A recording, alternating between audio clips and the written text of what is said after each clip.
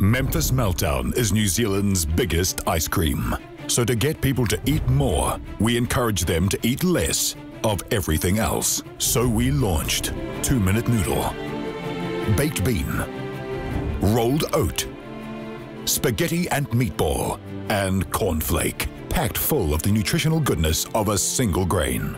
All totally edible and all pathetically small. Each one designed to leave room for New Zealand's biggest ice cream. No detail of the 1 12th scale packaging was overlooked. From tiny nutritional information to cooking instructions, we even wrote the complete history of the Cornflake Company.